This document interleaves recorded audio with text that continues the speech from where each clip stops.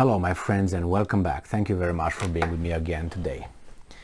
In Moscow, an uh, international security conference is ongoing, and uh, foreign uh, military leaders, uh, obviously from the friendly countries, attend it. And uh, I'm not focusing on them. I'm focusing on the um, statements that uh, President Vladimir Putin and in this case his defense minister uh, Shoigu, Sergei Shoigu, made. And I think it was uh, during a speech, uh, Shoigu claimed or made some statements, not didn't claim, just stated bluntly, something that I was saying for some time. And uh, I think you obviously came to the same conclusion because it's not uh, really uh, hard to figure it out unless you're a bottom feeder and you are uh, having an IQ below 86 and I don't think you and I uh, have that or we qualify for that uh, group.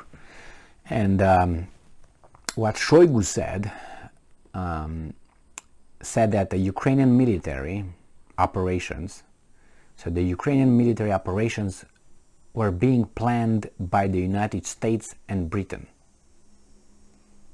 Ukrainian military operations were being planned by the United States and Britain. Uh, I'm surprised that this guy is just saying it like uh, tomorrow is, I don't know, Thursday or something, or Wednesday or whatever is tomorrow.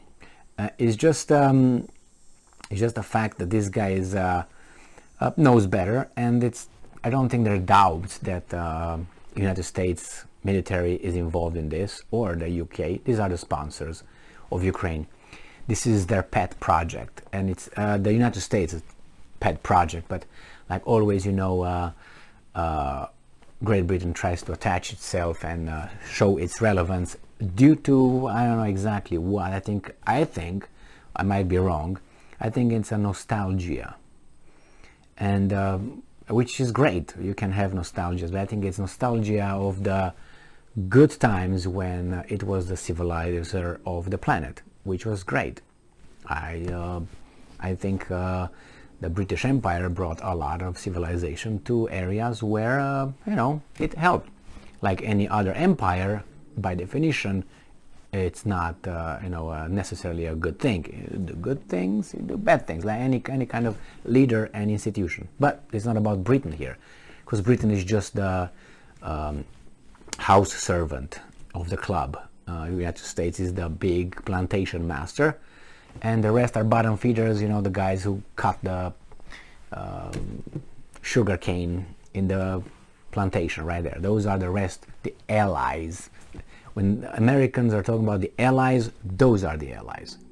And you uh, Great Britain is kind of like, uh, we are not kind of like, uh, you know, the plantation slaves, we are the house servant.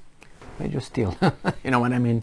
So, um, a while ago, which was maybe a, in the first month, within the first month of the, of the war in Ukraine, the, there were some claims that um, I think the there were some claims, obviously, that uh, there were advisors, military advisors, like in Vietnam, if you remember how those, no, in Vietnam and in, uh, in uh, I think it was also in, uh, in Korea, but I know in Vietnam, there were just military advisors, US military advisors, who were not, not actively involved in a war, if you know what I mean.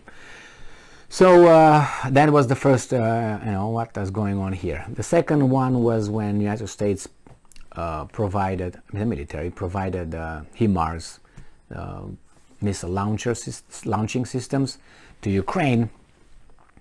And uh, there were some uh, um, provisions set for the Ukrainian army saying that you can't, you know, hit Russian targets there, you can hit this far, you have this, you know, uh, the range is set to 60 or miles or something like that and don't hit the Russians over there. It was like, what's going on here?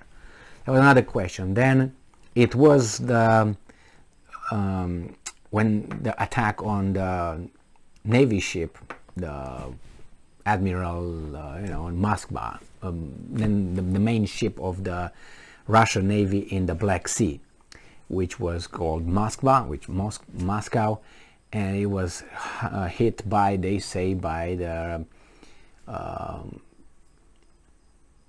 Ukrainian-made uh, missiles, and uh, I had doubts right there.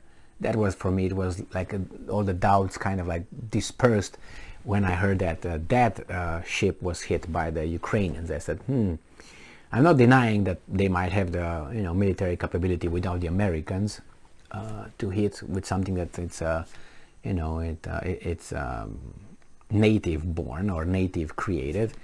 Um, but then there were some hits that the HIMARS were able to perform where that has had to be guided from somewhere else.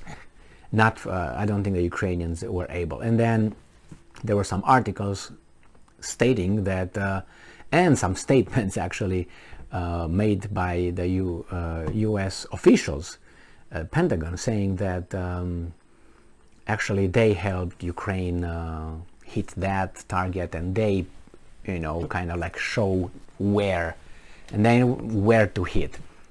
Uh, they assist them with intelligence and then they say shh, and the uh, Russians said oh, this is direct involvement. And then they said yeah we help them. We, we tell them another our articles claim that the Americans are telling them what to hit when to hit and they like uh, you know you, you take a guy by the you go hunting with him you know like the, some go like this hunting. Uh, you are the guy with the gun. I'm the great biggest hunter here. So i'm gonna kill an animal. So you got the um, uh, guide with you. And the guide grabs you by the collar and grabs you like a kid gets you in the forest or whatever and shows you the animal and says now you shoot. The guy oh, wait a second. Now go. Boom and the great hunter takes a picture with the great animal. So that's what seems to, to be in this case, with the Americans being the guide and uh, Ukrainians being the great hunter. Uh, it doesn't matter because it works. And I mean, in the end, they reached their target, their goals, but make no mistake, this is how it works. The Americans tell them when, how, how far that you can't hit that. Yeah you can hit that. That's per the per, per statements it's not me you know i just dreamt it last night or something. And now shoigu comes and say that uh, says that is not you know like oh my god surprise. It might be surprise for some people and some people say ah he's lying. Ah he's just blaming. If you look back articles coming from ukrainska pravda from a new voice of ukraine and statements made by the american officials they're not like un, un uh, unnamed sources or you know anonymous sources. No people with names. I made videos on those. They're over there. So it's just uh, that's true. It's a proxy war and all this are planned by at least i know the americans. And i would not be surprised if the uh, british uh, uh, military is involved. And i also think that they have the americans and the british uh, uh, they have forces, active forces. This is my assumption, and I don't have evidence, but I will be very, very, very, very surprised, like 99% surprised, if they don't have active combating troops, combatant troops over there. I will be very surprised, or even uh, uh units operating the HIMARS. I would be surprised. I don't do you think they let the Ukrainians use their weapons like that. Maybe they do, but I again I very much doubt that but I'm 99.9% certain that uh, the military uh, uh, actions that are planned by the Americans in the first place. I don't know about the Brits. Probably they have different sectors where they activate, where they uh, are active, operate. Thank you very much for being with me again today. Stay strong, stay smart, look for the truth, and be just.